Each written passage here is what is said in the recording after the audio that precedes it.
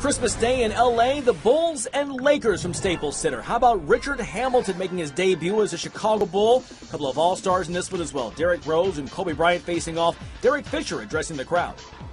We want to thank you, our fans, for the support, the patience, everything that you've shown throughout this entire offseason.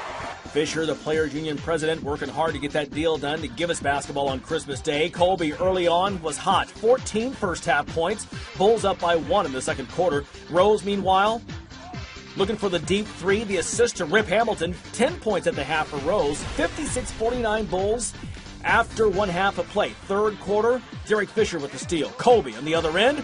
The big time slam. And the Lakers begin a comeback.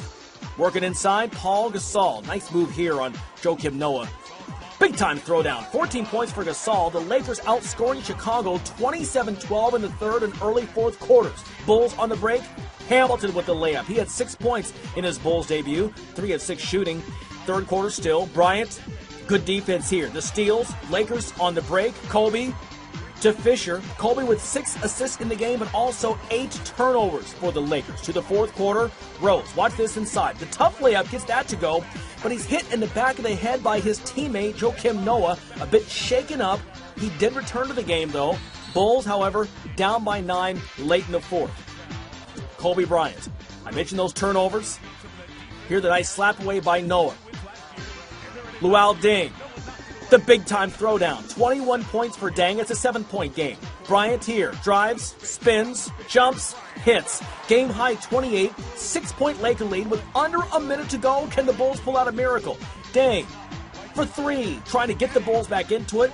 Misses, gets his own rebound, the layup and one, made the free throw, made two more free throws later to cut the lead to one. It's 87 84 at this point. So a one point game.